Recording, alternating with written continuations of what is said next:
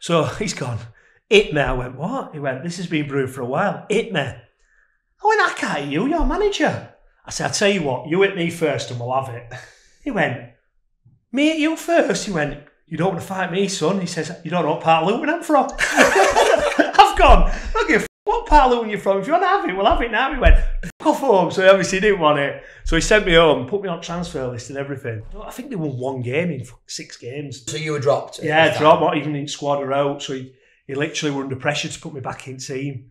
And he put me back in, right, and I had five clean sheets out of six games. Oh. Got me in his office, he went, I knew I'd get a reaction out of you, Paddy. I turned around, I, I walked out, and as I got to the door, I went, You are a prick, aren't you? And walked off.